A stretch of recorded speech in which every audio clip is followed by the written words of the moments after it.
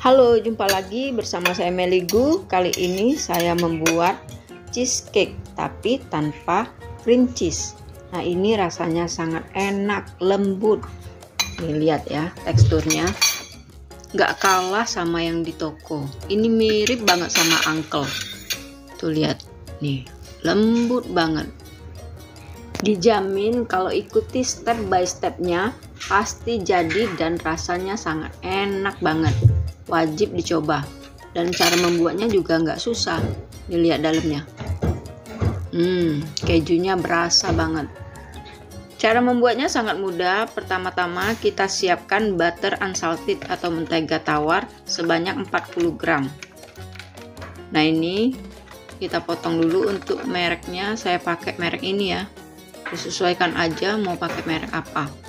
Karena kalau uh, butternya tawar itu lebih enak rasanya. Jadi uh, cake-nya itu enggak enggak asin. Ini videonya sengaja saya buat durasinya panjang enggak saya skip biar teman-teman bisa lihat uh, apa prosesnya itu step by stepnya biar hasil cake-nya itu jadi. Nah jika video ini dirasa berguna silahkan di like subscribe dan share bagikan kepada teman-teman agar kita bisa sama-sama belajar. Nah, ini udah 40 gram ya. Lalu kita siapkan keju. Kejunya sebanyak 130 gram. Ini kita parut. Keju cheddar bisa digunakan merek apa aja. Nah, ini susunya eh, kita gunakan merek ini ya, Ultra Milk sebanyak 135 ml nah ini saya takar pakai gelas takar. Nah lalu semuanya itu kita campur di dalam panci. Karena ini semua akan dimasak. Lalu butternya. Kalau kita menggunakan butter itu lebih wangi. Lalu tambahkan keju. Nah ini kita masak dengan api kecil ya. Sedang cenderung kecil biar enggak gosong. Nah ini kita aduk sampai keju sama menteganya itu larut. Nah ini udah larut Nah, ini lalu kita dinginkan. Setelah dingin, kita tambahkan eh, apa tepung terigu protein rendah sama tepung maizena. Lalu kita aduk rata. Nah, untuk eh, resep lengkapnya nanti saya tulis di deskripsi. Nah, ini kita aduk rata ya sampai semuanya tercampur. Lalu tambahkan 3 kuning telur. Ini sudah saya pisahkan dari putihnya. Nanti putihnya kita kocok secara terpisah.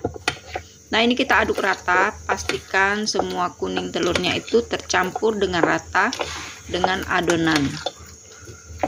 Nah begini ya, diaduknya cara mengaduknya. Lalu tambahkan setengah sendok teh vanili bubuk. Ini nggak mau lepas ya.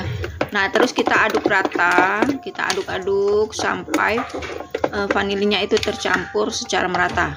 Nah ini kalau sudah rata seperti ini teksturnya ya nggak nampak lagi ada uh, terigunya itu tercampur.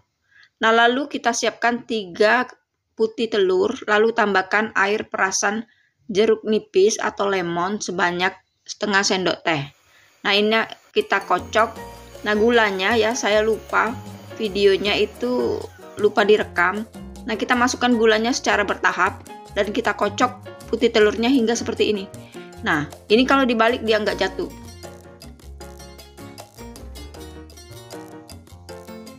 seperti ini ya nggak jatuh. Nah ini sudah siap untuk kita campur dengan bahan kuning telur tadi. Nah pertama-tama kita ambil adonan putih telurnya sedikit dulu untuk perkenalan dengan uh, adonan kuning telur. Nah kita ambil kira-kira dua centong seperti ini lalu kita aduk rata. Nah kita aduknya uh, dengan model stick balik seperti itu. Jadi jangan diaduk kuat-kuat. Nah setelah tercampur rata baru kita campurkan sedikit demi sedikit juga ke dalam adonan putih telur. Nah jadi dia sudah kenalan. Jadi adonannya itu enggak mengempis ya. Nah ini kita masukkan semua. Ini boleh juga uh, dua sendok lagi dulu lalu kita aduk. Nah ini sudah tercampur semua. Kita aduk rata pastikan semuanya tercampur ya. Jangan sampai masih ada putih-putihnya. Lalu kita siapkan loyang ini loyang yang dipakai adalah loyang berbentuk lingkaran 18 kali 18 nah ini uh, loyangnya ini nggak ada sambungannya ya karena nanti kita kukus uh, di bawahnya itu ada airnya. Jadi kalau kita menggunakan loyang yang sambungan itu takutnya airnya itu masuk ke dalam loyang dan membuat uh, cake-nya itu enggak naik. Nah jadi uh, belilah loyang yang ukurannya bulat yang enggak ada sambungannya yang biasa digunakan untuk cheesecake nah ini airnya udah mendidih dan ovennya udah panas ini kita panggang selama 60 menit dengan suhu 150 derajat api atas bawah.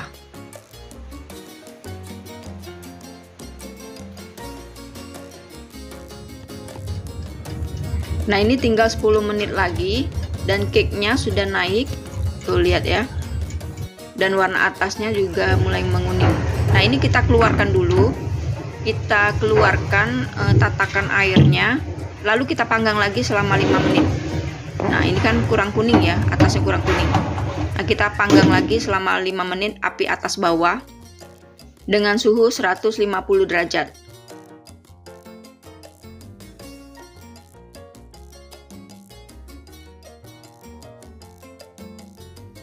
Nah, ini cake-nya sudah jadi. Ternyata kalau eh, apa bolu cream cheese begitu sudah matang itu harus dikeluarkan dari loyangnya. Nggak boleh didiamkan karena dia bisa menyusut. Nah ini kita sudah balik. Lalu kita lepaskan baking papernya. Nih ya. Warnanya cantik banget ya kuning. Ini bagian bawahnya. Tuh ya ini tadi saya telat balik jadi dia agak mengempis sedikit itu ya. Tapi masih bagus. Karena tadi terlalu panas saya uh, tinggalin sebentar. Nah ini atasnya kita kasih ini ya gula halus biar cantik sebelum kita potong. Wow ini enak banget wangi banget kejunya. Nah ini kita potong lembut banget ya enak banget buat uh, cream cheese ini. Beda kalau kita bikin bolu biasa. Teksturnya itu teksturnya lembut banget enak. Ya motongnya aja lembut banget. Nah jadi saya pakai alat untuk ngambilnya. Nah lihat ya. Tuh nanti saya pakai tangan aja. Nah ini lihat ya kayak kapas lembut banget tuh Nah, ini ya lembut banget dia. Ini enak banget kalau dimakan ya. Teksturnya memang beda ya. Sama kayak yang ini, yang uncle. Hmm. Enak banget. Lembut banget.